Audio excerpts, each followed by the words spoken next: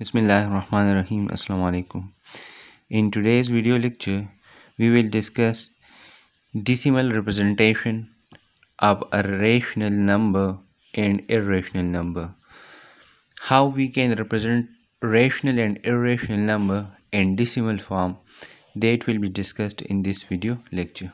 In previous video lecture, we discussed rational numbers and irrational numbers by defining them uh, in the set builder notation form. If a number is written in the form of p by q where p and q belongs to integers and q is not equal to 0 then such type of numbers are called rational numbers. The set of rational number is denoted by q and we uh, discussed in detail that why we write the set operational number in the uh, set builder notation and how many methods are there to write the sets in different forms. Those are rational uh, sorry those are three methods uh, descriptive form uh, uh, tabular form and set builder notation. So we write the set operational number in the set builder notation so that is the definition that we discussed in the previous video lecture. Those are the examples 2 by 5 10 minus 17 that is a mixed number which is equal to 7 by 4 all those are the rational number because you clearly see that 2 by 5 that is the form of the number p by q. The, here in case of 2 by 5 the value of p is 2 and the value of q is uh, 5 and you know from the set of integers uh, the 2 is also an integer and 5 is also an integer. And 5 is obviously not equal to 0 so according to this definition 2 by 5 is an uh, rational number. Similarly 10 is also a rational number. We discussed a result that uh, all the uh, real numbers whole numbers and integers are the proper subset of rational numbers. So that's why 10 is although a real number uh, sorry 10, uh, 10 is a natural number or you can say whole number or you can say an integer but it is a rational number because all the natural numbers whole numbers and integers are the proper subset of uh, rational number. And uh, according to this definition if we want to uh, check that 10 is a rational number or irrational number. So you clearly see that 10 can be written as 10 by 1 so uh, 10 by 1 mean 10 and that is the quotient form or you can say the ratio form because rational is actually come from ratio.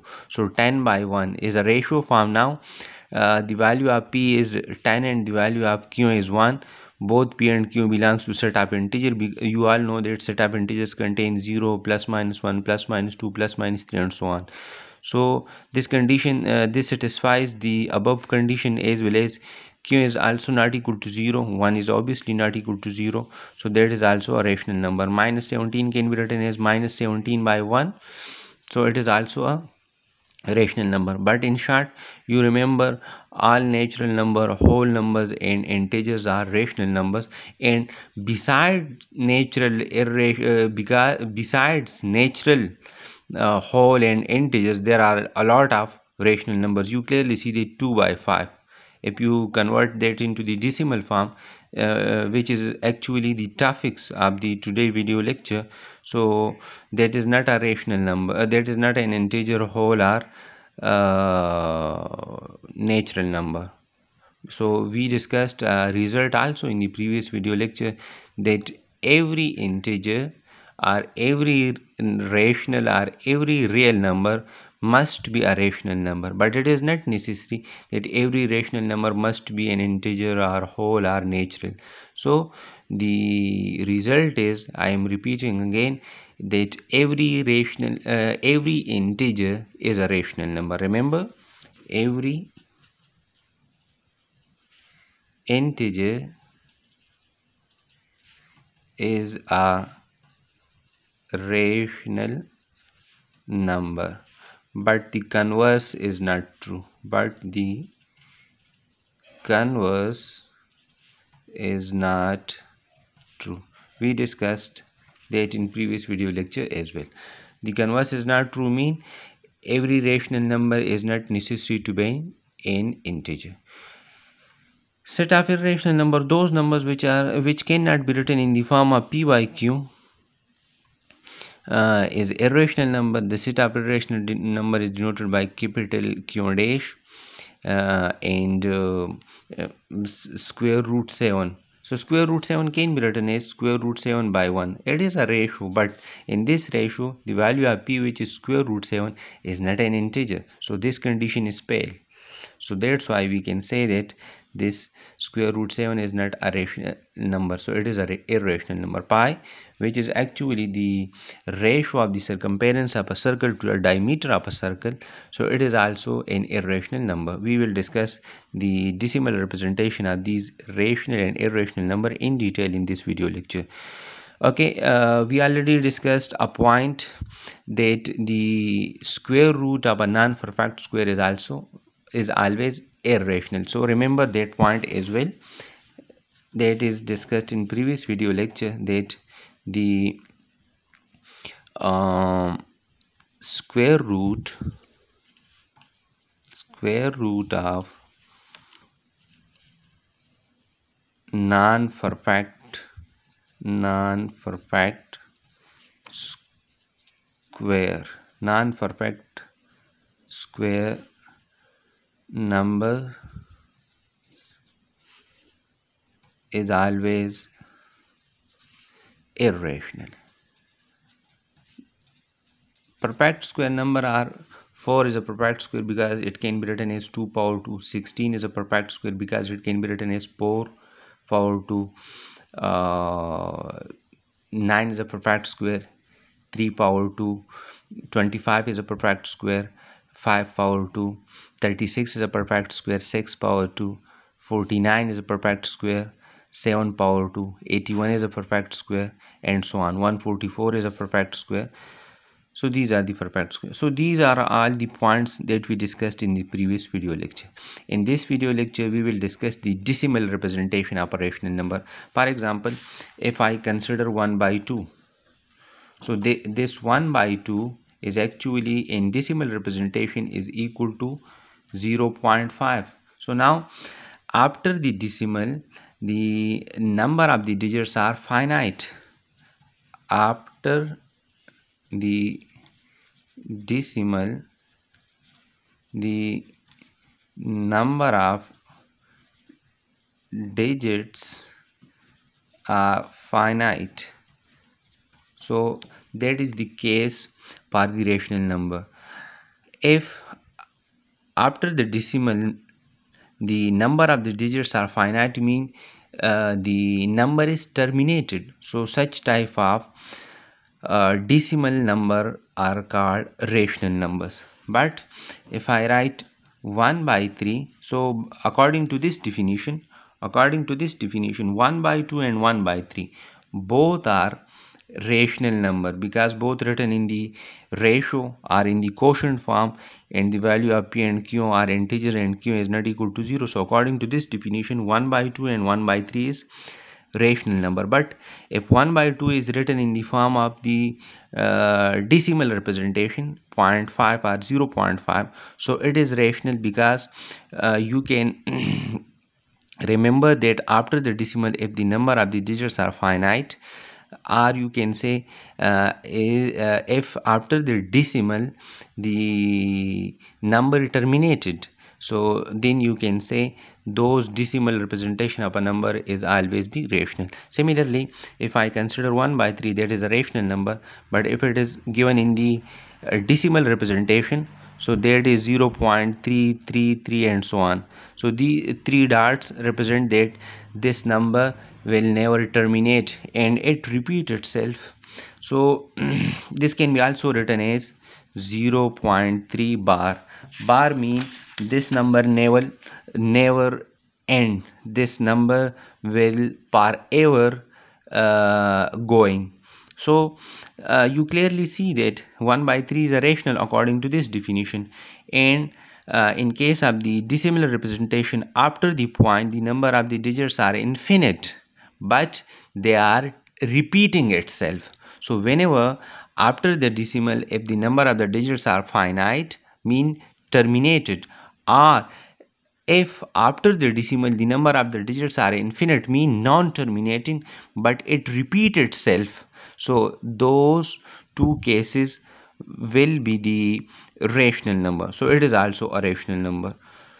Now we properly coming towards the uh, rational numbers. Okay from here you see that every rational number can be written as either a terminating decimal or a repeating decimal I gave the example that 1 by 2 which is 0.5 so that is the terminating decimal. After the decimal the number of the digits are finite. So that is the terminating decimal. R 1 by 3 0 0.333 and so on. So that is the repeating decimal. It never terminates but it repeats. So both the cases are rational number. Thus all the terminating and repeating decimal are rational number. So these are the example 3 by 8 according to the definition that we discussed in previous video lecture that uh, q the number x which is rational is written in the form of p by q p and q belongs to integer and q is not equal to 0 so according to that 3 by 8 is an integer. Clearly 3 by 8 is an integer because the value of p is 3 and the value of q is 8 both p and q are integer and q is not equal to 0 so that 3 by 8 is an integer. But if it given uh, if uh, but if 3 by 8 is given in the decimal representation so how you can check that it is a rational or irrational? So you clearly see that after the decimal the number of the digits are finite. There are three digits 3 7 and 5 so it means that that is the terminating decimal. That is the terminating decimal so if it is a terminating decimal so terminating and repeating decimals are always rational number so it is a rational number. If you see to 2 by 15 so 2 by 15 is also a rational number according to this definition. But if the 2 by 15 is written in the decimal form decimal representation which is 0 0.133 and so on which is also written as 0 0.13 bar the bar over 3 represent that the digit 3 is repeated per hour. So that is a repeated decimal uh, sorry that is a non-terminating repeating decimal. That is non-terminating repeating. That is uh, a terminating decimal terminating decimal. So that is rational. And that is non-terminating non-terminating repeating decimal. So both the cases will represent the rational number. Okay? The bar over 3 means that the digit 3 will repeat it per hour okay? Now irrational number an irrational number is a number whose decimal representation never terminates or repeats. So you see the example. Uh, if the decimal representation of a number is never terminates as well as never repeats, so that must be the irrational number in the decimal representation. So 0 0.01, 001, 001, 0 0 0 0 1 so you see that they after the decimal uh, they are non terminating as well as non repeating you clearly see that that is non terminating non terminating as well as and non repeating so those decimal which are uh, those decimal representations which are non-terminating and non-repeating is always be representing an irrational number. Square root 7, we already discussed that square root 7 can be written as square root 7 by 1. So according to this definition, square root 7 or square root 7 by 1 is not a rational number because although that is the quotient form p by q but the value of p is square root 7 and square root 7 is not an integer because this definition says p by q form is said to be rational if p and q are integer and q is not equal to 0 so square root 7 is not an integer. So that's why square root 7 is not a rational number so if it is not a rational so remember those numbers which are not rational is said to be irrational. So square root 7 is an irrational number according to this definition. But if you uh, write that in the decimal form so the decimal form of the square root 7 is 2.6457513 and these three dots shows the the number goes forever. That will never ended. So you see that after the decimal the numbers are non-terminating as well as non-repeating. You clearly see that that after the decimal the number of the digits are infinite non-terminating and those digits are not repeating. So that's why if the decimal representation is uh, non-repeating non-terminating so it is an irrational number. So that is an irrational number. Similarly 5 which is the ratio of the circumference of a circle to a diameter of a circle. The value of the phi is 3.1415927 and so on. So that is an irrational number because after the decimal the number of the digits are non-terminating and non-repeating. So that is also an irrational number. And uh, in calculations we use the value of pi uh, correct up to some decimal places if someone consider the value of pi equal to 3.14 which is 22 by 7 remember 22 by 7 is rational. Remember that is an important point. Remember 22 by 7 which is equal to 3.14 that is the approximate value of the phi. These two either the decimal uh, representation are the quotient or the ratio 22 by 7 both are rational numbers. And pi is an irrational number but in calculation we cannot use the uh, infinite digits after the decimal. So how you can write the infinite number of the digits uh, in a calculation? So we uh, uh take an approximate value of the pi so if you consider 3.14 is the value of phi so that is the approximate value or you can say that 3.14 is the correct value of the phi up to two decimal places because after the uh, decimal point you consider two digits. If you consider three digits or four digits so that will be the correct value of the phi up to three decimal places or four decimal places respectively. So these are the decimal representation of the uh, rational and irrational numbers. Okay. Uh, in the exercise uh, we are considering an example before to discuss the exercise question. Example number one that is 3 by 8 and 2 by 15 you need to convert those in the decimal fractions so it is so easy to convert these into the decimal fractions. 2 by uh, sorry 3 by 8 you need to convert that in the decimal uh, fraction. So that is 3 and that is 8 that is the uh, divisor and that is the dividend. You clearly see that the divisor is greater than the uh, dividend. So you need to put point here in the quotient so that will become uh, 30 now if you multiply uh, 3 with 8 so you will get 24 and that is actually 30 but we cannot write here 30 so you need to subtract 24 from 30 so you will get 60 so here you see that that is your last remainder. So if you still want to continue the process of division you need to put 0 here because the divisor is greater than the dividend so it is not possible. You need uh, to make the dividend greater than the divisor.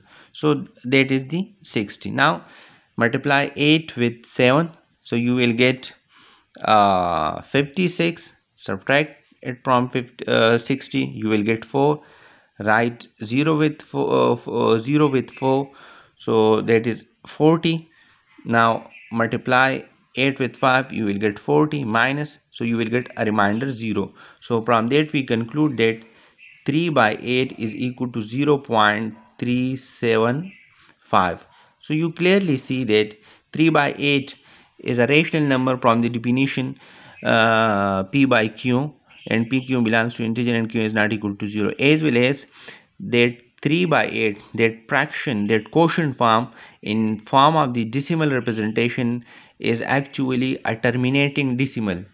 So because after the decimal the number of the digits are finite. So you know terminating decimals are rational numbers. So that is a rational number.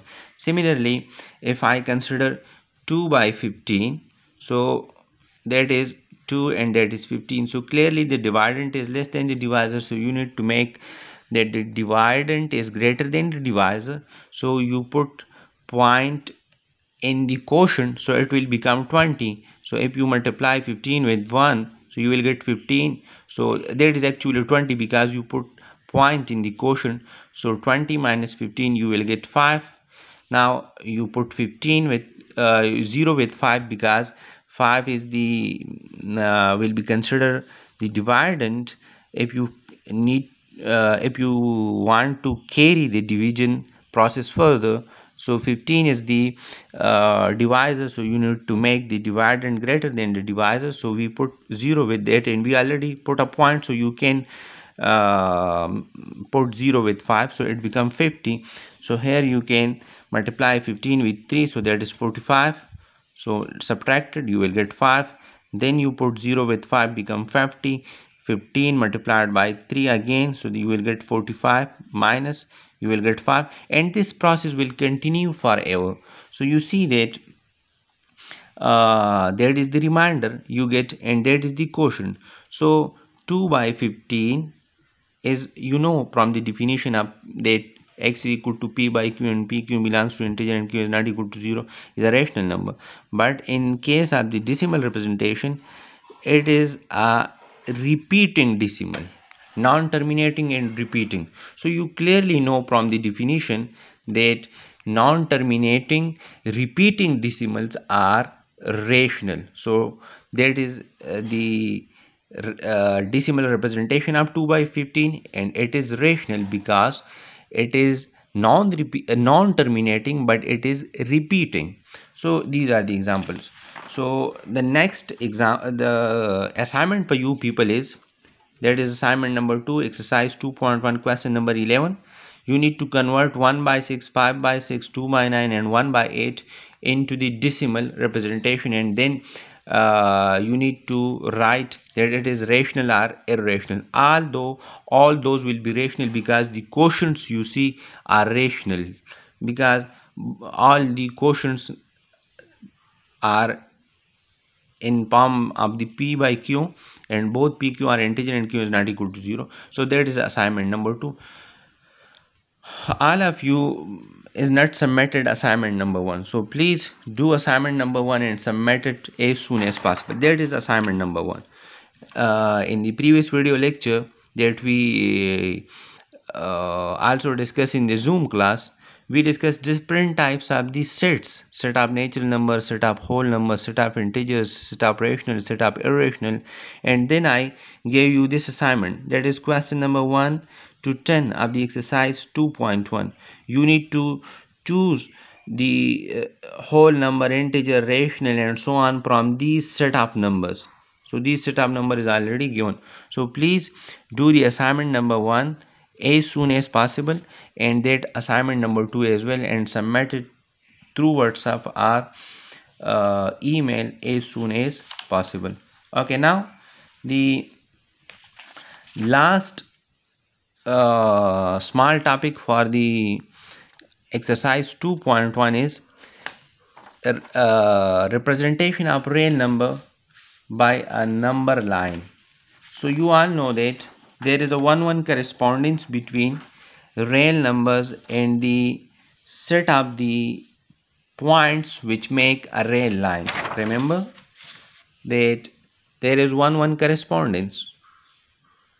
One one correspondence between the real numbers and the points which make a line. Mean for every point in the set of real number we have a point on a line and for every point on the line we have a real number. So that is called one one correspondence. If you choose a line so this line is actually made from set of points. You join set uh, infinite set of points so it make a line. So this line is actually made from infinite number of points these arrows in both the direction represent that the, uh, the line will never end in either direction. So and you all know that the real number which is the union of rational and irrational are also infinite. So for each point on the plane uh, so sorry for each point on the real line we have a real number. And for each real number in the set of real numbers we have a real we have a point from the line. So that is one one correspondence. So uh, if i consider this 0 so i assign uh, 0 to this point. If i consider this point on this line i assign 0 to that. It is not necessary uh, that you can always assign 0 to this point. You can take a point from here and you can also assign 0 to that point as well okay? But we initially assign 0 to the point we choose initially on the line is that 0 is actually used for the reference. So on the right side of the 0 the uh, numbers are positive. That is 1 2 3 and so on. And on the left side we conventionally consider the numbers are negative. Uh, if you see to this point we assign 1 to this point. So what does it mean? It means uh, nothing but that is the geometrical representation of 1 that the point which is assigned 1 is actually lying one unit away from your reference point. And if it is a positive one assigned to the point so that point will lies on the right side of that reference point. And if you see to the minus one so minus one is also assigned to a point on a number on a, a real line or you can say on a number line. So this uh, point this minus 1 shows that this point to which that minus 1 is assigned is actually one unit away from the reference point but it is towards the left so we write minus with that for the direction. So geometrical representation of one mean one is actually assigned to a point on the number line. So that point will always be one unit away from the reference point and if it is positive one so it will be uh, towards the right of the reference point. If you uh, someone ask from you that minus 10 what is the geometrical meaning of the minus 10 so minus 10 will be actually assigned to a point on the number line. And that point to which you assign minus 10 will actually lies minus 10 unit away from the reference point. Mean the distance between the point which you assign minus 10 and the reference point which to which you assign 0 will be having 10 unit distance. And the minus 10 the point to which you assign minus 10 will be always on the left of the reference point. So that is the geometrical meaning. So that is the uh, real line or you can say number line representation. Between 0 and 1 you we have um, infinite numbers because between every two rational numbers there are infinite uh, numbers. So that is the uh, number representation on a real line. So that is the last example.